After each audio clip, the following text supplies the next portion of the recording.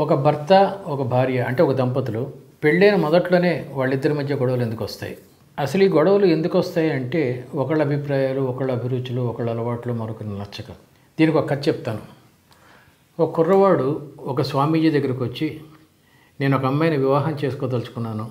ఆ అమ్మాయి చాలా అందంగా ఉంటుంది బాగా చదువుకున్నది తండ్రి కోటీశ్వరుడు మంచి అలవాట్లు ఉన్నాయి అని చెప్పి అన్నాడంట. అప్పుడు ఆ గురువు ఆ అమ్మాయి ఎక్కడుంది? అని అడిగాట. బయటే ఉంది సార్ అన్నాడు. లోపలికి తీసుకురాన్న తర్వాత ఆ అమ్మాయిని ఈ కుర్రోడిని నువ్వు ఎందుకు చేసుకుందాం అనుకుంటున్నావు? అని అడిగాట. అప్పుడు ఆ అమ్మాయి అతడి వైపు తమకంగా చూస్తూ అతను చాలా మంచివాడు కష్టపడి పనిచేస్తాడు ఎప్పుడు నవ్వుతూనే ఉంటాడు నన్ను నవ్విస్తూ ఉంటాడు. ఇంతకన్నా నాకు ఇంకేం కావాలి? అందంట అప్పుడు ఆ గురువు ఇద్దరు అడుక్కునేవాళ్ళు ఒకళ్ళకొకళ్ళు ఏమి ఇస్తారు? అన్నాడంట. వాళ్ళకి అర్థం కాల? ఏం మాట్లాడుతున్నారా మీరు? అన్నాడు. అప్పుడు స్వామీజీ అన్నట్ట వాళ్ళ కోపం వచ్చింది. గురువు వైపు కోపంగా చూస్తే ఏం మాట్లాడుతున్నారు సార్ మీరు? అన్నట్టు. నువ్వు అతని నుంచి ఆనందాన్ని ఆశిస్తున్నావు. అతను నీ నుంచి డబ్బుని నీ తెలివితేటల్ని అడుక్కుంటున్నాడు. ఒకళ్ళు నేను ఏమిస్తాను అని చెప్పకుండా వాళ్ళు నాకేమిస్తారు? అంటున్నారు. ఇంక ఇదేం ప్రేమ? ఇదే ఇద్దరు బెచ్చగాళ్ళు ఒకళ్ళకొకళ్ళు ఏమి ఇస్తారు చాలా బ్యూటిఫుల్ స్టోరీ అండి ఇది. ప్రేమ అంటే మనం అవతల వాళ్ళకి ఏమిస్తామో? దాని గురించి చెప్పటమే తప్ప వాళ్ళు మనకేమిస్తారు వాళ్ళు ఎలా ఉన్నారు? వాళ్ళ వల్ల మనకు వచ్చే లాభాలు ఏమిటి? ఇలా ఆలోచిస్తే అది ప్రేమ ఎలా అవుతుంది? ఈ విషయం అర్థం చేసుకుంటే ప్రతి దాంపత్యం చాలా అద్భుతంగా ఉంటుందండి. ఇది విన్ విన్ మూవ్కి అంటే నేను అతని వల్ల సంతోషం పొందుతాను అతను నా వల్ల సంతోషం పొందుతాడు ఇద్దరం సంతోషంగా ఉంటాం అనే ఈ థీరీకి ఇది వ్యతిరేకమైన థీరీ. నేనేమిస్తాను అతనేమిస్తాడు ఇలా ఆలోచించాలి. మంచి బిహేవియర్కి సంస్కారం చాలా ముఖ్యం. దీన్నే ఇంగ్లీష్లో మేనర్స్ అంటారు. వ్యక్తిత్వం అంటే పర్సనాలిటీ.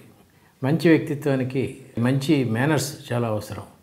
ఇవి రకరకాలుగా ఉంటాయి. స్టేజ్ మేనర్స్ సోషల్ మేనర్స్ దాదాపు చిన్నపిల్లల మేనర్స్ ఇవన్నీ కలిస్తే వచ్చేదే వ్యక్తిత్వం. ఒక రాత్రి మా ఇంటికి ఒక దంపతులు వచ్చారు వాళ్ళకి ముగ్గురు పిల్లలు. రెండో కొడుకు రెండో కొడుకు ఉల్లిపాయలు ఉంటే తప్ప భోజనం చేయడంట. కూరలో ఉల్లిపాయలు ఉంటే భోజనం చేయడంట. ఇంకో కొడుక్కి రెండు తలదిళ్ళు కావాలంట టూ పిల్లోస్ కావాలంట. ఇంకొక అమ్మాయికి తాలింపులో వెల్లు వెల్లిపాయలు కంపల్సరీ అంట. మా అమ్మ ఆ రోజు ముగ్గురికి మూడు రకాల కూరలు వండటం నాకు ఇప్పటికీ గుర్తుంది. మరుసటి రోజు పొద్దున్న బాత్రూమ్ ఇరుగ్గా ఉందని ఆ ఆఖరి పిల్ల స్నానం చేయడం మానేసింది. ఆ అమ్మాయి అప్పుడు పన్నెండేళ్ళు ఎంతో ఇప్పుడు ఇరవై రెండేళ్ళు ఎంత వచ్చినాయి? పెళ్ళయింది. ఆ అమ్మాయి మొత్తం ఇల్లు నాలుగైదు బాత్రూంలు ఉన్నంత విస్తీర్ణం ఉన్న బాత్రూంలో ఇప్పుడు బతకాల్సి వచ్చింది. ఆ అమ్మాయి జీవితాన్ని నేను విటకరం చేయటం కాదు కానీ కేవలం పిల్లల పెంపకం మీద తల్లిదండ్రుల బాధ్యత గురించి మాత్రమే చర్చించడం నా ఉద్దేశం. పిల్లల్లో ఈ రకమైన సంస్కారాన్ని చిన్నప్పటి నుంచి పెంచాలి మనం. దీనికి అసలు ముందు మనం మారాలి. మీరు ఒక రచయిత అనుకోండి. ఆ రచయితకి ఒక ఉత్తరం వచ్చింది. పలానా నవల్లో మీరు పలానా పాత్రను ఎందుకు చంపేయలేదు? లేదా పలానా పాత్రను ఎందుకు బతికించారు? ఇలాగా మీరు రాయటం మానేసేసి సన్యాసం స్వీకరించవచ్చు ఒకప్పుడు మీరు రాసినంత బాగా ఇప్పుడు రాయటం లేదు అని దరిద్రంగా రాసాడు ఉత్తరం. దానికి మీరు మర్యాదపూర్వకంగా ప్రతిస్పందించకుండా మీరు కూడా తిడుతూ ఉత్తరం రాస్తే అతన్ని మీరు కోల్పోయారన్నమాట. అతను ఎందుకు రాశాడు? మీ నవల పూర్తిగా చదివాడు. మీరు రోజు రోజుకి మీ గ్రాఫ్ తగ్గిపోతుంది అన్న విషయం అతనికి అర్థమవుతుంది. అందుకని మిమ్మల్ని విమర్శించుకున్నాడు అతని సంస్కారం కొంచెం తక్కువ కాబట్టి అతడు మిమ్మల్ని ఒక సంస్కారరహితమైన భాషలో తిట్టాడు. మీరు కూడా అలాగే ప్రతిస్పందిస్తే మీకు అతనికి ఉన్న తేడా ఏమిటి? కాబట్టి ఒక విషయం గుర్తుపెట్టుకోండి. అతను టైం స్పెండ్ చేశాడు. మీ మీద తను పెట్టుకున్న నమ్మకాన్ని మీరు తక్కువ చేశారు వమ్ము చేశారు అన్న బాధతో అతను ఆ ఉత్తరం రాశాడు. కాబట్టి మీరు వెంటనే అలా స్పందించకూడదు. నిజమే తప్పు జరిగిందనో లేదా పలానా కారణాల వల్ల ఇలా రాయాల్సి వచ్చిందనో లేదా మీ విమర్శకి కృతజ్ఞతలు గుర్తుపెట్టుకుంటాను చిన్న ఉత్తరం రాస్తే అది సంస్కారవంతంగా ఉంటుంది. అర్థమవుతుంది కదా మీకు? దీన్ని మీరు కరెక్ట్గా స్పందిస్తే మీ మీద గౌరవం పెరుగుతుంది అతనికి. మీ మరిన్ని పుస్తకాలు అతను చదువుతాడు. ఒక తల్లి కూతురు టీవీ సీరియల్ చూస్తున్నారు. అందులో ఒక ప్రేమ గురించి గొడవ జరుగుతుంది. అప్పుడు తల్లి కూతురుతో ఉంది ఇలాంటి గొడవలన్నీ నా జీవితంలో ఎప్పుడు జరిగాయమ్మా. నేను పదహారేళ్ళు పదిహేడేళ్ళ వయసులో ఉండగా ఒక అబ్బాయిని ప్రేమించాను. ఆ అబ్బాయి సడన్గా మా ఇంటికి వచ్చేసాడు. నాన్న షాక్ అయిపోయాడు. మీ అమ్మాయికి మేజర్ అయ్యే వరకు ఆగుతాను. నేను అప్పుడు పెళ్ళి చేసుకుంటాను. లేదంటే ఇప్పుడే తీసుకెళ్ళిపోతాను. ఇలా మాట్లాడాడు ఏదో సంథింగ్ సంథింగ్ మా ఫాదర్కి చాలా కోపం వచ్చింది. చాలా గొడవ జరిగింది. ఈ వయసులో ప్రేమించకూడదు ఇట్లా ఇట్లా ఏదో అన్నాడు. అప్పుడు మాత్రం నేను కల్పించుకొని నాన్న ఏ వయసులో ప్రేమిస్తే ఏంటి? ప్రేమ అనేది అల్టిమేట్ ప్రేమ అనేది ఒక శిఖరం లాంటిది. ఇట్లా ఏవో డైలాగులు చెప్పాను. అప్పుడు నాన్న చచ్చినట్టు ఒప్పుకున్నాడు. అప్పుడు పెళ్ళి జరిగింది ఒక ఫైవ్ ఇయర్స్ తర్వాత. తర్వాత నువ్వు నిన్ను కన్నాను. ముందు తాతయ్య అమ్మమ్మ నాయనమ్మ ఎవరు ఒప్పుకోలేదు. కానీ ఇప్పుడు అందరూ ఎంత హ్యాపీగా ఉన్నారు చూసావా? దీనిపై అర్థమైంది ఏంటి ప్రేమ అల్టిమేట్ ప్రేమదే విజయం అంది. అప్పుడు చిన్న కూతురు గట్టిగా చప్పట్టు కొట్టింది. ఈ ఉపన్యాసం నేను కాలేజీలో ఇస్తుంటే ప్రేమ అల్టిమేట్ అనగానే విద్యార్థినులు అందరూ చప్పట్లు కొట్టారు. ఈ ఉపన్యాసం ఎక్కడ జరిగిందంటే వరంగల్లో జరిగింది. అక్కడ ఇది పది సంవత్సరాల క్రితం స్పీచ్ అండి. అక్కడ ఇద్దరు అమ్మాయిలు చచ్చిపోయారు. ఒక అమ్మాయిని మొహం మీద ఒకడు యాసిడ్ పోసాడు ఇంకొక అమ్మాయి ఊరేసుకొని చచ్చిపోయింది. ఈ యాసిడ్ పోసిన అతన్ని మీకు గుర్తుందో లేదో ఎన్కౌంటర్లో చంపేశారు వరంగల్లో. ఈ ఎన్కౌంటర్లో చంపేసిన కుర్రోడు జరిగే ఈ ఇన్సిడెంట్ని చూసి పిల్లలందరూ షాక్ అయిపోతే వాళ్ళకి కౌన్సిలింగ్ అవ్వడం కోసం ఉపన్యాసం ఇవ్వమని నన్ను పిలిచారు. ఇది పక్కన పెడితే మొదట అమ్మాయి ఎందుకు యాసిడ్ పోయించి పోసాడు అంటే అప్పటి వరకు ఫ్రెండ్లీగా ఉంటూ సడన్గా ఇతను ప్రపోజ్ చేసేసరికి నో అంది అందుకని యాసిడ్ పోసాడు. రెండో దాంట్లో అమ్మాయి అబ్బాయికి ప్రపోజ్ చేస్తే అబ్బాయి నో అన్నాడు అందుకని ఆ అమ్మాయి ఆత్మహత్య చేసుకుంది. రెండు విషయాల్లోనూ అన్యాయం జరిగింది అమ్మాయిలకే నష్టపోయింది అమ్మాయిలే. అబ్బాయిలు బాగానే ఉన్నారు. అఫ్కోర్స్ ఎన్కౌంటర్ చచ్చిపోయాయి అనుకోండి. దీన్ని బట్టి ఏమర్థమైంది మీకు? ప్రేమ గురించి మనం ఏ స్టెప్ వేసుకున్నా సరే పరిణామం పాజిటివ్గా ఉండొచ్చు నెగిటివ్గా ఉండొచ్చు. ఈ విషయం చెప్పమని నన్ను ఆ వరంగల్ కాలేజీ ఇంజనీరింగ్ కాలేజీ వాళ్ళు పిలిచారన్నమాట. నేను ఎప్పుడైతే ప్రేమ అల్టిమేట్ అని చెప్పానో ఆ విద్యార్థులందరూ చప్పట్లు కొట్టారు కదా దాన్ని కంటిన్యూ చేశాను ఈ స్పీచ్ ఏం చేశానంటే అప్పుడు ఆ టీవీ చూస్తున్న తల్లి కూతురులో కూతురు అంది అమ్మ నువ్వన్నట్టే కరెక్ట్. ప్రేమ ఏ వయసులో ఉద్భవిస్తుందో తెలియదు నేను ఆరో క్లాస్ చదువుతున్నాను కదా. ఏడో క్లాస్ చదువుతున్న కుర్రాన్ని ప్రేమించాను. వాడు రేపు వస్తాడు మన ఇంటికి. వచ్చిన తర్వాత నాన్నతోనూ నీతోనూ మాట్లాడతాడు. మేము పదహారు సంవత్సరాలు ఆగుతాం. అప్పుడు పెళ్ళి చేసుకుంటాం. ఇది చెప్పేసరికి కాలేజీ అమ్మాయిలు చప్పట్లు కొట్టాలా? ఏంటో ఆగిపోయారు వాళ్ళు. ఏం చేయాలో తెలియక. నేను ఒకరోజు ట్రైన్లో వెళ్తున్నాను కూపీలో వెళ్తున్నాను ఫస్ట్ క్లాస్లో. నా పక్కన ఒక హాస్యనరుడు కూర్చున్నాడు. ఓ తెగ పొగుడుతున్నాడు ఒక హీరో గురించి. విపరీతంగా పొగుడుతున్నాడు. పొగుడుతున్నా పొగట్టం వరకు బాగానే ఉందయ్యా కానీ ఇవన్నీ నువ్వు టీవీల్లో ఇంటర్వ్యూలు ఇవ్వడానికి వాటికి పొగిడితే బాగానే ఉంటుంది కానీ కనీసం నా దగ్గరన్నా నువ్వు మనసు విప్పచ్చు కదా. ఆ హీరోకి నాకు ఉన్న ఫ్రెండ్షిప్ నీకు తెలుసు కదా. అతను నువ్వు ఫారిన్ వెళ్ళినప్పుడు నువ్వు రూమ్ ఖాళీ చేస్తూ ఉంటే నీ సూట్ కేసులో హోటల్ తాలూకు తువ్వాలు పెట్టి కింద రిసెప్షన్లో ఫోన్ చేసేట. నువ్వు కిందకి వెళ్ళేసరికి ఆ ఫారిన్ కంట్రీలో రిసెప్షనిస్ట్ దగ్గర ఆ పెట్టి విప్పితే హోటల్ తాలూకు తువ్వాలు కనబడిందంట. అందరూ అందరి ముందు నువ్వు చాలా సిగ్గుతో తలంటుకుని దాదాపు ఏడ్ చేసావంట కదా. అన్నప్పుడు ఆ కమేడియన్ మొహంలో ఫేస్ ఫీలింగ్స్ చాలా మారిపోయినాయి. అప్పటి వరకు పొగిడిన చచ్చే చచ్చేటట్టు తిట్టడం మొదలుపెట్టాడు ఆ హీరోని. నిజమే సార్ ఏది ఒకటే సంఘటన కాదు చాలా సంఘటనలు ఉన్నాయి ఇట్లాంటివి. ఆ కమేడియన్ నాకు బాగా క్లోజ్ ఒకప్పుడు. అంటే ఇప్పుడు నేను బిజీ ఒక రంగంలో అతను ఒక రంగంలో బిజీ. అతనికి కొత్తగా వేషాలు ఇచ్చిన ఒక డైరెక్టరు అతన్ని ఎంత హింసించాడో నాకు తెలుసండి. దీనికి నేను ప్రత్యక్ష సాక్షిని. ఆ ఫారిన్ హోటల్లో తువ్వాల విషయంలో నాకు అంత తెలియదు కానీ ఎవరు చెప్తే విన్నాను కానీ అంటే ఈ కమేడియన్ చెప్తేనే విన్నాను కానీ ఈ కమేడియన్ని ఫస్ట్లో గోనె సంచిలో కూర్చోబెట్టి గోనె సంచి మూడేసేసేసి ఒరే కెమెరా ఆన్ చేస్తున్నాను నువ్వు కదలకుండా ఉండాలి అని చెప్పి దాదాపు అరగంట కెమెరా ఆన్ చేయకుండా అక్కడ పెట్టేసేసి ఇచ్చేసాడండి అంతే. లైట్స్ ఆన్ ఉన్నాడు లైట్స్ ఆగలేదు ఏం లేదు. అంతే. కింద ఉన్న- లోపల ఉన్నవాడికి లైట్స్ ఆన్ అయినట్టు తన మీద కెమెరా ఉన్నట్టు అనుకుంటున్నాడు. కొత్త కాబట్టి. ఎంతసేపు ఆఫ్ చెప్తాడో ఎంతసేపు కట్ చెప్తాడో తెలియదు కాబట్టి అలా ఉండిపోయాడు. ఇదో రకం శాడిజం అది. ఏ వయసులో విజయం సాధించాలి? ఈ చిన్నపిల్లలకి నేను స్పీచ్ స్టార్ట్ చేసే ముందు వాళ్ళందరినీ హుషారుగా ఉంచడం కోసం మీలో జీవితంలో పైకొద్దాం అనుకునే వాళ్ళు విజయం సాధిద్దాం అనుకునే వాళ్ళు చేతులు ఎత్తండి అంటే దాదాపు అందరూ ఎత్తుతారు. ఆ తర్వాత ఒక చాక్లెట్ తీసి మీరు కరెక్ట్గా ఆన్సర్ చెప్పిన వాళ్ళకి ఈ చాక్లెట్ ఇస్తాను. మీరు జీవితంలో పైకొద్దాం అనుకుంటున్నారు ఓకే. కానీ ఏ వయసులో పైకొద్దాం అనుకుంటున్నారు అని అడుగుతా. కొంచెంసేపు అందరూ నిశ్శబ్దంగా ఉంటారు. ఆ తర్వాత ఒకళ్ళు లేచి ట్వంటీ త్రీ ట్వంటీ థర్డ్ ఇయర్లో జీవితంలో పైకి వస్తాను. ఇంకొక అమ్మాయి లేచి ట్వంటీ ఫోర్త్ ఇయర్లో పైకి వస్తానంటాను. ఆ అమ్మాయిని రమ్మని ట్వంటీ ఫోర్త్ ఇయర్లో నీకు ఏమవుతుందమ్మా జీవితంలో ఎలా పైకి వద్దాం అనుకుంటున్నావు? ట్వంటీ ఫోర్ ఇయర్స్ వచ్చే వరకు నీ జీవితంలో పైకి రాలేదా? ఆ తర్వాత పైకి వద్దాం అనుకుంటున్నావు కదా ఎలా వద్దాం అనుకుంటున్నావు? ట్వంటీ ఫోర్త్ ఇయర్లో నీకు ఏమవుతుంది అని అడిగితే దూరం నుంచి ఒక అల్లరి కుర్రోడు పెళ్ళి అవుతుంది అంటాడు. అందరూ నవ్వుతారు. కొంచెం వాళ్ళు మంచి మూడ్లోకి వచ్చిన తర్వాత అసలు జీవితంలో పైకి రావడం అంటే ఏంటి? సక్సెస్ అంటే ఏమిటి? అని అడుగుతాను. ఈ ప్రశ్న పిల్లలకే కదండి పెద్దలకు కూడా అర్థం కాదు. అసలు సక్సెస్ అంటే ఏమిటి? అప్పుడు ఆ చివరి ఒక అమ్మాయి లేచి నీ ఆటోగ్రాఫ్ నీ సంతకం ఒక ఆటోగ్రాఫ్ అవ్వటం ఉంటుంది అందరూ చప్పట్లు కొడతారు. ఇది యాక్చువల్గా అబ్దుల్ కలాం డైలాగు. ఎక్కడైతే నీ సంతకం ఆటోగ్రాఫ్ అవుతుందో అప్పుడు నువ్వు విజయం సాధించినట్టు. ఇది కొన్ని విషయాల్లో ఓకే కానీ సంతకాల ఆటోగ్రాఫ్ అవటం అంటే ఇప్పుడు మా ఇంట్లో ఎలక్ట్రిసిటీ బిల్లు వాటర్ బిల్లు తీసుకొచ్చిన క్లర్కు బిల్లు మీద సంతకం పెట్టి ఇస్తాడు మా ఆవిడ జీవితాంతం దాచుకుంటుంది. మళ్ళీ ఎప్పుడన్నా కరెంట్ పోతే గొప్పకున కరెంట్ తీసేస్తే మేము కట్టామండి ఫీజు అని చెప్పడానికి. మరి ఇది ఎట్లా అవుతుంది? సంతకం ఆటోగ్రాఫ్. ఉదాహరణకి ఉసామైన్ బిల్లు లాడన్ ఉన్నాడు. టెర్రరిస్టు. అతను సంతకం పెడితే చాలామంది టెర్రరిస్టులు దాచుకుంటారు.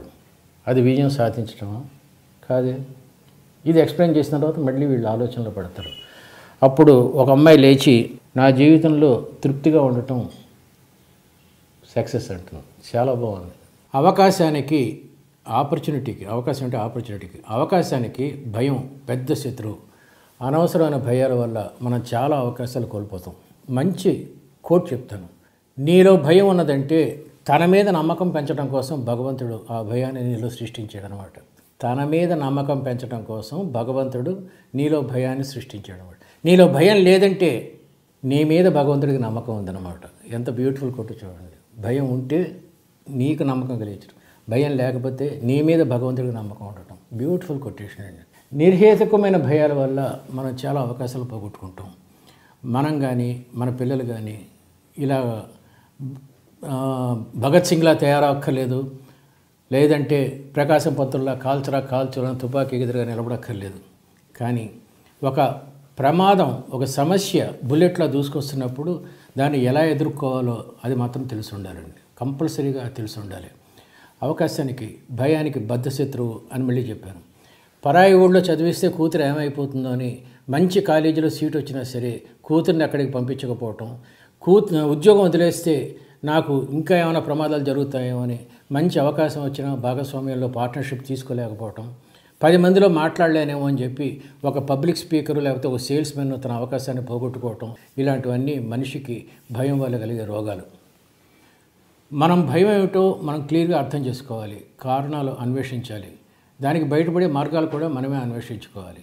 దీనికి కారణం దీనికి ముఖ్యంగా కావాల్సింది మన పట్ల మనకు నమ్మకం ఉండటం. సెల్ఫ్ డిటర్మినేషన్ థియరీ అని చెప్పి ఏషే అనే ఒక శాస్త్రజ్ఞుడు ఈ థియరీని ఇంట్రడ్యూస్ చేశాడు.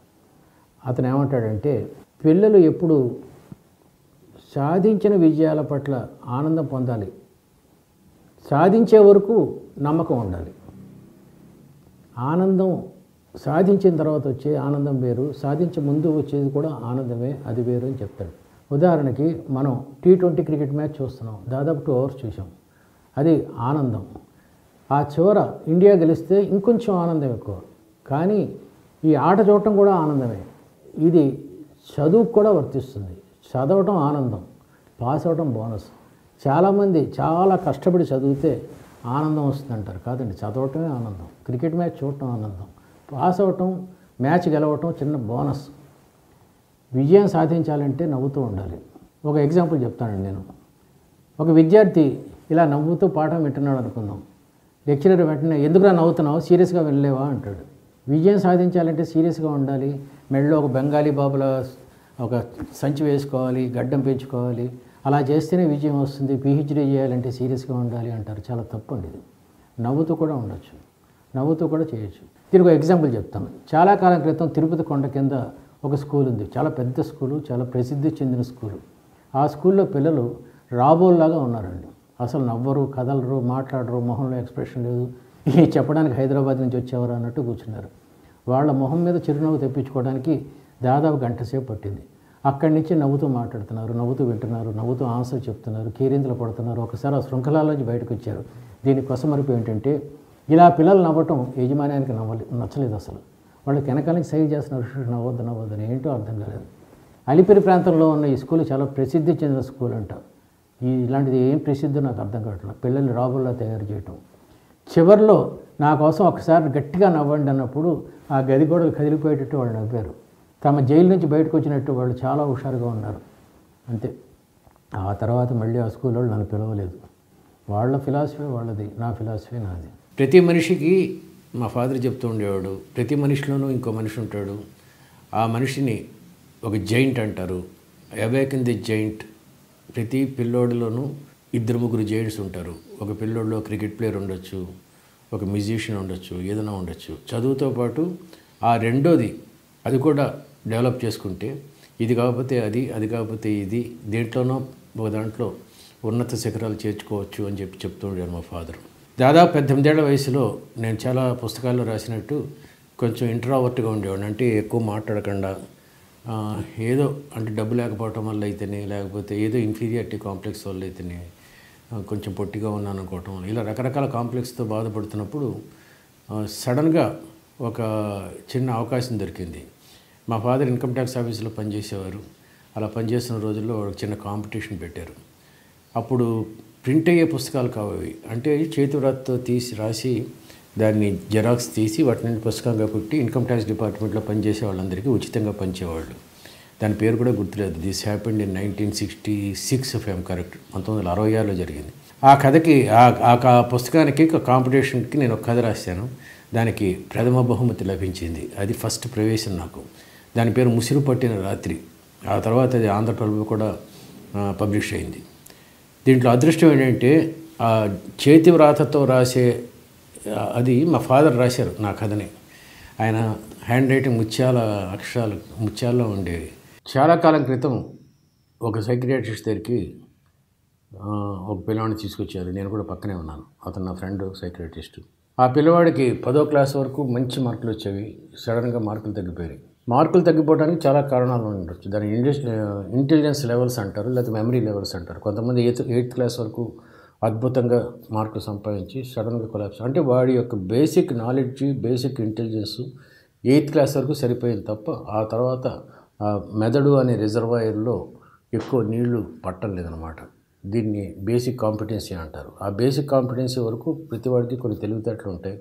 ఆ తర్వాత ఎక్స్ట్రా వర్క్ చేయకపోతే కెపాసిటీ తగ్గిపోతుంది. కానీ ఈ కుర్రవాడిలో అలాంటిదేం కనబడలేదు. అంత కాంపిటెన్సీ బాగుంది కానీ మార్కులు తగ్గిపోతున్నాయి. చాలా కష్టపడ్డాడు పాపం సైక్రటిస్టు. చివరికి హిప్నటైజ్ చేసి అవి చేసి అవి చేసి చేస్తే లాస్ట్కి ఒక విషయం ఏం తెలిసిందంటే ఈ కుర్రవాడు రాత్రి పది పదకొండున్నరకు బాగా చదువుకొని పడుకునే టైంకి తండ్రి ఇంటికి వస్తాడు. తాగి వస్తాడు పెళ్ళంతో బాగా గొడవలు అప్పుడప్పుడు కొట్టిన చప్పుళ్ళు ఇవన్నీ వినబట్టడంతో ఇతనికి జీవితం పట్ల ఒక విధమైన నిరాసక్తి ఎందుకు చదువు? నాన్న ఇట్లా చేస్తున్నాడు? అమ్మ ఇట్లా బాధపడుతోంది? అని ఒక విధంగా ఒక స్కెప్టిక్ ఇది మనస్తత్వం డెవలప్ అయ్యి మార్కులు తగ్గిపోయినాయి అన్నమాట. సో ఈరోజు మన టాపిక్ ఏంటంటే పెద్దలు పిల్లలకి ఇచ్చే గొప్ప బహుమతి. వాళ్ళ ముందు ఎప్పుడూ దెబ్బలాడుకోకపోవటం. కృష్ణుడు లౌక్యానికి ప్రతినిధి. అద్భుతంగా మేనేజ్ చేశాడు. తనకు కావాల్సిన యుద్ధం కురుక్షేత్రం కూడా కొనసాగించాడు. ఈ లౌక్యానికి కృష్ణుడి దగ్గరికి యుద్ధానికి ముందు అర్జునుడు ప్లస్ దుర్యోధనుడు వస్తారు. ఆయన పడుకొని ఉంటే ఒకళ్ళ కాళ్ళ దగ్గర ఒకళ్ళ తల దగ్గర కూర్చున్నప్పుడు నేను కావాలా నా సైన్యం కావాలా కోరుకోమంటాడు దుర్యోధనుడిని. దుర్యోధనుడు సైన్యమే కావాలంటాడు. కృష్ణుడికి ఆ విషయం ముందే తెలుసు. తను ఇటువైపు ఉంటే అటు గెలుస్తానని దుర్యోధనుడు సైన్యాన్ని కోరుకుంటాడని తెలిసిన కృష్ణుడు ఆ విధంగా అర్జునుడిని ముందు అడగకుండా దుర్యోధను అడిగి తనకు కావాల్సిన పనులు తను దయించుకున్నాడు అనమాట దీన్నే లౌక్యము అంటారు. గిరిజా కళ్యాణంలో వాగ్దానం అనే సినిమా వాగ్దానం కాదు ఏదో నాగేశ్వర రహస్యం రహస్యం సినిమాలో గిరిజా కళ్యా కళ్యాణంలో ఒక పాట ఉంది. అందులో పార్వతీదేవి శివుడు తన్ని ప్రేమించడం లేదు వివాహం చేసుకోవడం లేదని సూసైడ్ చేసుకోవడానికి ట్రై చేసినప్పుడు ఆ యక్షగానంలో అతడు అంటాడు ప్రయోక్త అంటాడు తగదిది తగదిది తగదిది అండగా మదనుడు ఉండగా విరిశరముల పదును ఉండగా తగదిది అండగా అంటే నీ సాయంగా మదనుడు ఉండగా ఆ మన్మధుడు ఉండగా విరిశరములు పా పువ్వుల బాణాలు ఉండగా ఎందుకు సూసైడ్ చేసుకుంటావు? మన్మధుడితో బాణాలు వేయిద్దాం అని శివుడి మీద అతనే లవ్ చేస్తాడు ఎక్కడ పోతాడు? అనే లెవెల్లో రాశాడు ఆ పాట. దీన్ని కూడా లౌక్యము అంటారు. పురాణంలో ఇలాంటి లౌక్యం చాలా చోట్ల కనబడుతూ ఉంటుంది. ఆంజనేయుల దగ్గర కనబడుతుంది నారదుడి దగ్గర కనబడుతుంది. ఇంద్రుడు ఒకడే కొంచెం లౌక్యం లేని వాళ్ళ కనబడుతూ ఉంటాడు. కొంతకాలం వరకు నాకు పొద్దున్న తొమ్మిదింటి వరకు నిద్రపోవటం ఒక వ్యసనంగా ఉండేది. మెలకువగా ఉండేది కానీ లేచేవాడిని కాను అని ఒక రచయిత రాస్తాడు. సడన్గా నేను మార్నింగ్ వాక్ అలవాటు చేసుకున్నాను. ఇప్పుడు పొద్దున ఫైవ్ ఓ క్లాక్ లేవటం వ్యసనం అయిపోయింది. సో వ్యసనాలు మంచి వ్యసనాలు కూడా ఉంటాయి. చాలా కాలం క్రితం నాకు ఈ బద్ధకంగా ఉండే వ్యసనం ఉండేది. This happen around thirty forty years back ఆ టైంలో నేను పొద్దున్న లేచి కొంచెంసేపు పచారులు చేయటం ఆ తర్వాత నెమ్మదిగా కొత్తగా కట్టుకున్న కాలనీలో మా రెండు మూడు ఇళ్ళు మాత్రమే ఉండేవి సడన్గా నాకు ఐడియా వచ్చింది. అక్కినే నాగేశ్వరరావు గారు ఒక స్పీచ్ ఇస్తూ నీ చుట్టూ ఉన్న వాతావరణానికి బాగుంటే నీకు క్రియేటివిటీ బాగుంటుందని ఒక మాట చెప్పారు. ఒక చిన్న వాక్యం మనిషి జీవితంలో గొప్ప ప్రభావాన్ని చూపిస్తుంది. ఆయన చిన్న వాక్యమే చెప్పాడు మీరు ఆయన అన్నపూర్ణ స్టూడియోస్ చూసినా ఆయన ఇండ్లు అంతకుముందు బంజారా హిల్స్ ఉండేది. ఆయన ఎప్పుడు మొక్కల్లోనే ఉండేవాడు. ఆయన నిత్యయవనంతో ఉండటానికి ఆ మొక్కలే కారణం అని అనుకొని సడన్గా నాకు ఐడియా వచ్చి ఈ కాలనీలో నేను ఇప్పుడున్న ఈ కాలనీలో మొత్తం రోడ్డు పక్కనన్నీ చెట్లు వేయటం మొదలుపెట్టాను. మా కాలనీ వాళ్ళందరూ విచిత్రంగా చూడటం మొదలుపెట్టారు. వీడేంటి పొద్దున్నే లేచి చెట్లన్నిటికీ రోడ్డు మీద ఉన్న చెట్ల నీళ్ళు పోస్తున్నారు. మీరు ఎప్పుడున్న టీవీ నైన్ పక్కన ఉన్న మా బంజారా హిల్స్ మా ఇంటి దగ్గరికి వస్తే మీరు చూస్తే మా వీధిలో రెండు వైపులా చెట్లు పెర్ఫెక్ట్గా ఉంటాయి. మొత్తం వీధి మొదటి నుంచి చివరి వరకు చెట్లు ఉంటాయి. ప్రతి చెట్టుకి నేనే నీరు పోసాను. This happen in thirty five years back ఇప్పుడు సగర్వంగా చెప్పుకోగలను. నేను ఎక్కడో రాశాను. కిటికీ తెరిస్తే ఎదురుగా సూర్యోదయం కనబడుతుంది. మనం టూరిజం పేరు మీద అలకనంద నదులని హిమాలయ పర్వతాలని చూడటానికి వెళ్తాం లక్షలు ఖర్చు పెడతాం తప్ప మన కిటికీ తెరిస్తే ఎదురుగా కనబడే దృశ్యాన్ని అందంగా ఉంచుకోమని చెప్పి ఎక్కడో రాశాను అది దీని ప్రభావం అన్నమాట. సో నేను ఈ పాయింట్ చెప్పేది ఏంటంటే ఒక వ్యసనం చెడు వ్యసనాన్ని మార్చాలి అంటే ఒక మంచి వ్యసనాన్ని నేర్చుకోండి. కష్టం నష్టం కష్టం నష్టం అక్షరం ఒకటే తేడా. మనకు ఒక బాధ వల్ల కష్టం వస్తుందా ఆ కష్టం వల్ల నష్టం వస్తుందా? లేకుండా నష్టం లేకుండానే నేను బాధపడుతున్నానా అని తెలుసుకోవాలి ఫస్ట్. ఇది చాలా మంచి పాయింట్ అండి. కష్టమా నష్టమా? ఉదాహరణకి మీ కొడుకు విదేశాలకు వెళ్తున్నాడు. మీకు చాలా దుఃఖంగా ఉంది. మీకు ఇది కష్టం. కానీ వాడు విదేశాలకు వెళ్ళకపోతే వాడికి నష్టం. వాడి నష్టం మీకు కష్టం. మరి ఏం కావాలి మీకు? వాడు మంచి భవిష్యత్తు కోసమే వెళ్తున్నాడు కదా. ఇలాంటప్పుడు మీరు బా బాధ సహజమే కానీ బాధపడటం వేరు. ఇది జీవితంలో ఇంక అన్నీ కోల్పోయాము సూసైడ్ చేసుకోవాలి. అది వేరండి. బాధ అనేది స్వాభావికం. కానీ దాన్ని ఆహ్వానించి కళ్ళమ్మ నీళ్ళు పెట్టుకొని ఏ పని చేయకుండా నిర్వేదంగా నిరాసక్తంగా నిస్పృహతో అలా ఉండిపోతే దట్ ఈస్ కాల్డ్ నష్టం. ఈరోజు మన టాపిక్ అదే. కష్టానికి నష్టానికి నీకు నా కావాలా కా కావాలా అనుకునేది చాయిస్ కొంతమంది అంటారు ఆలస్యం అమృతం విషం అంటారు. కొంతమంది పరిగెత్తి పాలు తాగడం కన్నా నిలబడి నీళ్ళు తాగడం మంచిది అంటారు. కానీ ఒక్కోసారి పాలు నిలబడి తాగే అవకాశం ఉన్నా కూడా అలా తాగం. ఇది బెటరా అది బెటరా అది బెటరా ఇది బెటరా అలా ఆలోచించుకుంటూనే ఉంటాం. చేతిలో ఉన్నది పాల గ్లాసు అని తెలిసినప్పుడు నిలబడే తాగొచ్చు కదా. దీనికి ఇంత డిస్కషన్స్ ఎందుకు? అది మనం చెప్పేది. ఉదాహరణకు ఒక అమ్మాయి ఉంది ఒక అబ్బాయిని ప్రేమించింది. నీకు రెండే ఛాయిస్లు. ఇంట్లో చెప్పాలా? చెప్పకూడదు. చెబితే ఎళ్ళగొడితే ఆ అబ్బాయితో వెళ్ళిపోవాలా? ఇంట్లో ఉండటమే బెటరా. చెప్పకుండా ఇలా ఇంట్లో వాళ్ళని మోసం చేయటం బెటరా? దొంగతనంగా కాళ్ళ మీద నిలబడే వరకు ఏదో అలా సాగించి అప్పుడు చెప్పి వాళ్ళు కాదంటే వెళ్ళిపోవటం బెటరా? ఇంత అవసరం ఉందా అసలు లేదా? అన్నీ ఛాయిస్లేనండి. మన జీవితం అంతా ఛాయిస్లే. సరి అయిన ఛాయిస్లు మనం ఎన్నుకోకలేకపోవటమే మన కష్టాలన్నింటికి కారణం. చాలా వరకు ఇవే. మనం క్యాన్సరు లేకపోతే హైపర్ టెన్షన్ ఇలాంటి వాటిని ఎలాగో మనం ఎదుర్కోలేము కానీ చాలా వరకు మన కష్టాలన్నీ మనం కొని తెచ్చుకునేవని చెప్పటమే నా ఉద్దేశం. కొంతమంది ఎప్పుడో మనకందరికీ సడన్గా ఎందుకో నిరాశ నిస్పృహ ఏదో సడన్గా వ్యాసిలేటింగ్ ఫీలింగ్ ఉంటుంది. దీన్నే కారణం లేని దిగులు అంటారు. కానీ నిజానికి ఆలోచిస్తే ఏ దిగులకి కూడా కారణం లేకుండా ఉండదు. ఏ దిగులకు కూడా కారణం లేకుండా ఉండదు. ఒక మనిషికి జుట్టు ఊడిపోతుంది. కారణం ఏంటి? జుట్టు ఊడిపోతుందన్న దిగులు. అలాగా కారణం లేని దిగులు అంటూ ఏముండదండి. మన బతుకుతున్నది మనకి నచ్చకపోతే దిగులుకి ముఖ్య కారణం అదే. ఉదాహరణకి ఒక పక్షి ఉంది చిన్న పంజరంలో ఉంది. ఏదో ఏదో అసంతృప్తి. సడన్గా పంజరం తలుపులు తెరుచుకున్నాయి. పక్షి బయటకు వచ్చింది. రెక్కలతో రెక్కల యొక్క అవసరం అప్పుడు తెలిసింది. వెళ్ళి చెట్టు మీద వాలింది. వర్షంలో తడిచింది. ప్రకృతితో పరవశించింది. అప్పటివరకు తనకేం లేదో అర్థమైంది. ఇదే కారణం లేని దిగులు అంటే. ఒక బ్యూటిఫుల్ కారు ఉంది. కోట్లు ఖరీదు చేసే కారు. షోరూంలో ఉంది. అందరూ చూస్తున్నారు చాలా మెచ్చుకుంటున్నారు. నీ లైఫ్ చూసి అందరూ మెచ్చుకుంటున్నారు కానీ నీకు ఏదో అసంతృప్తి ఉంది. అలాగే కారుకు కూడా ఏదో అసంతృప్తి. సడన్గా ఒకడు దాన్ని కొనుక్కున్నారు. హండ్రెడ్ కిలోమీటర్ స్పీడ్లో రోడ్డు మీద వెళ్ళారు. బ్రేక్లు వేశారు మళ్ళీ రేస్ చేశారు. అద్భుతంగా ఆ కారుకి తన పర్పస్ ఏంటో అర్థమైంది. ఎప్పుడైతే నువ్వు బతుకుతున్న పర్పస్ నీకు అర్థం కాలేదో నీకు దిగులు స్టార్ట్ అవుతుంది. ఇది అన్నిటికన్నా ముఖ్యమైన పాయింట్ ఇది. మన మనసుని బాధించేది మనల్ని వేధించేది రాత్రిపూట నిద్రపడకుండా చేసేది మన పట్ల విమర్శలు.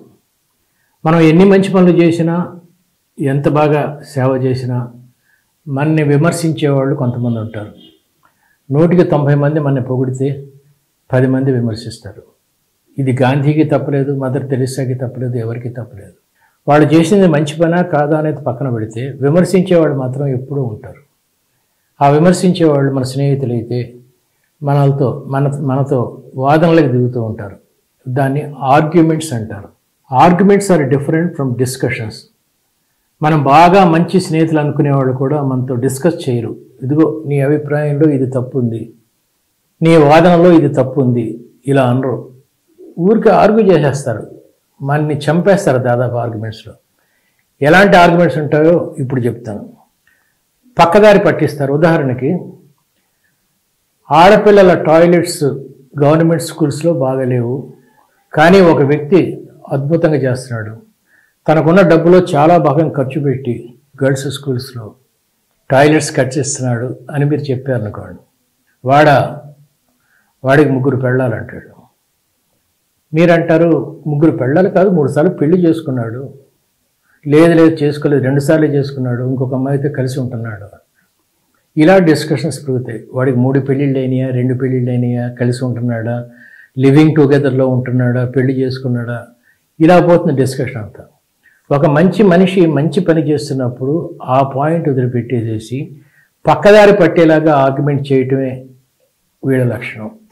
ఇలాంటి వాళ్ళ నుంచి మీరు దూరంగా ఉంటాయి మనుషుల నిరాసక్తత యొక్క కారణం మనం ఇంకా చేయొచ్చు అని మనం గుర్తించలేకపోవడమే మన సర్కిల్స్ ఆఫ్ స్ట్రెంగ్త్ సర్ శక్తి వలయాలు అంటారు తెలుగులో. మన శక్తి వలయాలు చాలా చిన్నవి అనుకుంటాం. ఇంతకన్నా ఎక్కువ చేయలేము అనుకుంటాం. ఒక క్రికెట్ ఆటగాడు క్రికెట్ రిటైర్ అయిపోయిన తర్వాత కామెంటరేట్ అవుతాడు. మాట్లాడటం నేర్చుకుంటాడు. ఆ తర్వాత ఇంకో దాంట్లో ఇంకో దాంట్లో ఇంకో దాంట్లోకి వెళ్తుంటాడు. ఎప్పుడైతే నువ్వు శక్తి వలయాలు చిన్నవి అనుకున్నావో నువ్వు ఆ పరిధిలోనే ఉండి దాంట్లోంచి ఇంక బయటికి రావడానికి ట్రై చేయవు ఉదాహరణకి ఒక బ్యూటిఫుల్ మ్యాథమెటిక్స్ టీచర్ ఉన్నాడు. టీచర్ అంటే చదువుకునే వయసులో కొంతకాలం టీచింగ్ చెప్పి తర్వాత సెక్రటరియట్లో ఏదో అయ్యాడు సూపరింటెంట్ ఏదో అయ్యాడు రిటైర్ అయిపోయాడు. మళ్ళీ వెనక్కి వచ్చి పాఠాలు చెప్పొచ్చు రిటైర్ అలా మళ్ళీ టీవీ చూసుకుంటూ ఎండ్ చేస్తాడు తప్ప he will not come back. తన ఒరిజినల్ పొజిషన్లో లెక్కలు చెప్పాడు కదా ఆ జ్ఞానాన్ని మళ్ళీ పునరుద్ధరించుకుంటూ టైంపాస్కి డబ్బులు కాదు టైం పాస్ చేసుకోవచ్చు అన్న పాయింట్ మన శక్తి విరయాల్ని మనం గుర్తించకపోవడంతో వస్తుందని చెప్పడం నా ఉద్దేశం. ఎలకల ప్రాబ్లం ఉంది. ఎలకల ఎలకల ప్రాబ్లం వస్తే ఎన్ని రకాలుగా వదిలించుకోవచ్చు? ఎలకల బోను కొంతమంది ఏం చేస్తారంటే ఎలకల బోను ఎలా తయారు చేయాలి? ఎలకల్ని ఎలా చంపాలి? ఇలాగే ఆలోచిస్తారు తప్ప అసలు ఎలకలు ఎలా రాకుండా చేసుకోవచ్చు? అది ఇల్లు అవ్వచ్చు రాష్ట్రం అవ్వచ్చు దేశం అవ్వచ్చు పొలాలు అవ్వచ్చు ఏదైనా ఇంత విస్తృత పరిధిలో ఆలోచించటాన్ని శక్తి విలయాన్ని పెద్ద పెద్ద చేసుకోవటం అంటారు. ఒక మనిషి ఇంకో మనిషికి మధ్య ఉన్న రిలేషన్ రెండింటి మీద ఆధారపడి ఉంటుంది. ఒకటి నమ్మకం ఒకటి వ్యతిరేకత. ఈ వ్యతిరేకతనే వాట్ అబౌటిజం అంటారు. నమ్మకాన్ని పెర్సుయేషన్ అంటారు. పెర్సుయేషన్ థియరీలో అవతల మనిషి ఈ మనిషిని నమ్ముతాడు. బాబాలు మూఢనమ్మకాలు విప్లవం దాని గురించి ఉపన్యాసాలు. వీళ్ళందరూ ఏం చేస్తారంటే తన మాటలు తన సిద్ధాంతాలు ఇందులో తప్పేం లేదండి అంత కరెక్ట్. తన సిద్ధాంతాలు నమ్మేవాడని తమ క్వార్టరీలోకి లాక్కొని వాళ్ళని ప్రభావితం చేస్తారు. అలా ప్రభావితం చేసేవాడు మంచివాడైతే సమాజం కానీ జనం కానీ మంచి వైపు నడుస్తారు. అలా కాకుండా వాడు మూర్ఖుడు మూఢనమ్మకాల్ని ప్రభావితం చేసేవాడు అయితే జనం అటువైపు వెళ్తారు. ఏది ఏమైనా నమ్మకం అనేది ముఖ్యం. దీన్నే పర్సుయేషన్ థియరీ అంటారు. దీనికి opposite what abouts whataboutism అంటే ప్రతిదానికి ఒక అడ్డపుల్ల వేయటం విమర్శించడం ఇది వాట్ అబౌటిజం. మనం కేవలం నమ్మకం గురించి మాట్లాడుకుందాం. ఒక అద్భుతమైన ఒక ఇన్సిడెంట్ చెప్తాను. ఒక రియల్ ఎస్టేట్ కంపెనీ ఉంది. అది స్థాపించిన వన్ ఇయర్లోనే అద్భుతంగా పనిచేస్తోంది. మిగతా రియల్ ఎస్టేట్ కంపెనీస్ అన్నిటికీ ఇది ఇంత వన్ ఇయర్లోనే ఇంత ప్రాముఖ్యత ఎలా సంతరించుకుంది అని చెప్పి డౌట్ వచ్చింది. వీళ్ళు చేసేది చాలా చిన్న టెక్నిక్ అండి. మీరు ఒక ల్యాండ్ కొందాం అనుకున్నారు. ఆ కంపెనీకి ఫోన్ చేశారు. ఒక ఏజెంట్ ఫోన్ ఎత్తాడు. చెప్పండి సార్ నాకు ఫలానా ఎయిర్పోర్ట్ దగ్గర ల్యాండ్ కావాలని వాడు అడిగే మొదటి ప్రశ్న మీరు ల్యాండ్ ఇల్లు కట్టడానికి కొంటున్నారా? తిరిగి అమ్మటానికి కొంటున్నారా అని అడుగుతాడు. నేను తిరిగి అమ్మటానికి కొందాం అనుకుంటున్నాను అంటారు.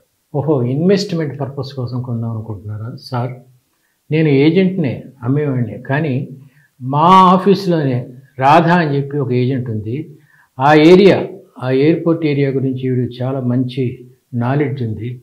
అంతేకాకుండా కొని అమ్మితే ల్యాండ్ ఎక్కడ పెరుగుతుంది? అక్కడే పెరుగుతుందా? ఇంకెక్కడన్నా ఎక్కువ పెరుగుతుందా?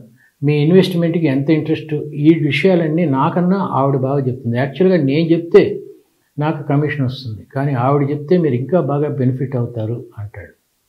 అంటే ఒక ఫెయిత్ సీడ్ ఒక విత్తనాన్ని అతని మనసులో నాడుతున్నాడు అనమాట ఆవిడని ఆవిడ ఏం చెప్పినా బాగానే ఉంటుంది అని ఒక విత్తనాన్ని నాటడం ద్వారా ఇతను ఈ కంపెనీ యొక్క గుడ్ విల్ని పెంచుతున్నాడు ఈ ఏజెంట్ ఒకవేళ ఇతనే కానీ ముందు రాధ ఫోన్ ఎత్తుంటే ఆవిడ ఈ ఏజెంట్కి ఇచ్చుండేది ఫోను. అందరికీ ఒకటే నాలెడ్జ్ ఉంది కానీ నాకన్నా ఇంకొక నాలెడ్జబుల్ పర్సన్ మీకు చెప్తాడు అని చెప్పడం ద్వారా దీని గుడ్ విల్ పెంచడాన్ని పెర్సుయేషన్ థియరీ అంటారు. మనం చేయని తప్పుకి మనకి పడే శిక్షలు.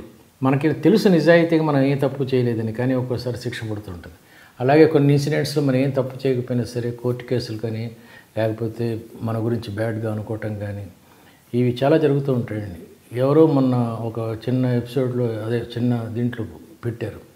ఎండమూరి వీరేంద్రనాథ్ చీకట్లో సూర్యుడు అనే పుస్తకంలో ఆ కంప్యూటర్ని జట్టీస్ అని అంటారంటే ర్యాకెట్లోంచి బయటకు విసిరేయటం.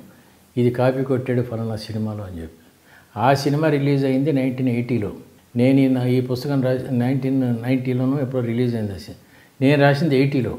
అంటే టెన్ ఇయర్స్ ముందు నేను కాపీ కొట్టానని చెప్పి రాశాడు. చేయని తప్పుకి ఈ శిక్షలు అంటే ఇలాగే ఉంటాయి. ఈ నీలాప నిందల గురించి చెప్పాల్సి వస్తే కృష్ణుడు కూడా దీనికి హీజ్ ఎ విక్టిమ్ జాంబవతిని పెళ్ళి చేసుకునే టైంలో ఏదో చంద్రుడిని చూడటం గణపతి సంథింగ్ సంథింగ్ అది అయిన తర్వాత తన మీద చేయని నేరానికి శిక్ష పడుతుంది. కృష్ణుడు కాబట్టి మహాత్ముడు కాబట్టి అతను దాంట్లోంచి బయటకు వచ్చాడు కానీ మనం అంత ఈజీగా బయటికి రాలేమండి మనుషుల మధ్య ఇద్దరి మధ్య మాని ఒక మనిషికి ఒక గుంపుతో కానీ సంబంధాలన్నీ ప్రేమ పగ నమ్మకం ఈ మూడింటి మీద ఆధారపడి ఉంటాయి. ఇది పైకి టైటిల్ మామూలుగా కనబడ్డా కూడా ట్రాన్సాక్షన్ అనాలిసిస్ అన్ని చూసుకుంటే మన జీవితంలో మనం ఆనందించే విషాదాలు ఆనంద విషాదాలన్నీ ఈ ప్రేమ పగ నమ్మకం మీద ఆధారపడి ఉంటాయి. దీనికి నేను రాసిన ఒక నవల అంతర్ముఖం అని చెప్పి చాలా పాపులర్ నవల. ఈ అంతర్ముఖంలో ఏంటంటే ఒక మనిషి హీరో అసలు అసలు మనుషులు నమ్మడు. ప్రతి రిలేషన్షిప్ కమర్షియల్ అనుకొని బతుకుతున్న టైంలో ఒక అమ్మాయి అతను లవ్ చేస్తుంది. లవ్ చేసినప్పుడు అతను నేను ఐ డోంట్ లవ్ యూ ఈ లవ్ అనే దానిలో జస్ట్ బాడీ నెసెసిటీ తప్ప మనసుకి కావాల్సిన అవసరం తప్ప ప్రేమలు గేమ్లు ఏం లేవు అంటే ఆ అమ్మాయి ప్రేమ అంటే ఏమిటో నిరూపించి చచ్చిపోతుంది. ఇతను చాలా జైల్లో పడి ఆ టైంలో ఏదో ఉండగా లేకపోతే కిడ్నీ ప్రాబ్లం ఉండగా అయితే కిడ్నీ ప్రాబ్లం ఉండగా చచ్చిపోతుంది. చచ్చిపోయిన తర్వాత ఇతను బతుకుతాడు. ఇతనికి తర్వాత తెలిసింది ఏంటంటే తన కిడ్నీస్ ఇతనికి ఇచ్చి ఇతన్ని జైలు నుంచి బయటపడేసేసి సంథింగ్ సంథింగ్ అలా చేసిన తర్వాత ఇతను బయటపడ్డాడని చెప్పి తెలుస్తుంది తనకి. అప్పుడు అర్థమవుతుంది అతని ప్రేమ అంటే ఏమిటో. అర్థమైన తర్వాత ఆవిడ ఆఖరి కోరిక ఏంటంటే నువ్వు మామూలు మనిషిగా ప్రేమతో బతుకు పెళ్ళి చేసుకో అని చెప్తుంది. ఆ చచ్చిపోయిన ప్రియురాల కోసం ఇతను మళ్ళీ పెళ్ళి చేసుకుంటాడు. పెళ్ళి చేసుకుని ముసలోడు అయిపోతాడు. ఇదంతా ఇప్పుడు నేను చెప్పిందంతా ఫ్లాష్ బ్యాక్ ముసలోడు అయిపోయిన తర్వాత చచ్చిపోయి ఆత్మ దేవుడి దగ్గరికి వెళ్ళినప్పుడు భగవంతుడిని ఇంత ఆనందం ఇచ్చావు ఇంత ప్రేమ ఇచ్చావు ఇంత ఇచ్చావు కదా. నన్ను ఎందుకు చంపేశావు? నాకు బతికుండే వరం ఇవ్వని చెప్తే మళ్ళీ సరే అంటాడు తదాస్తు.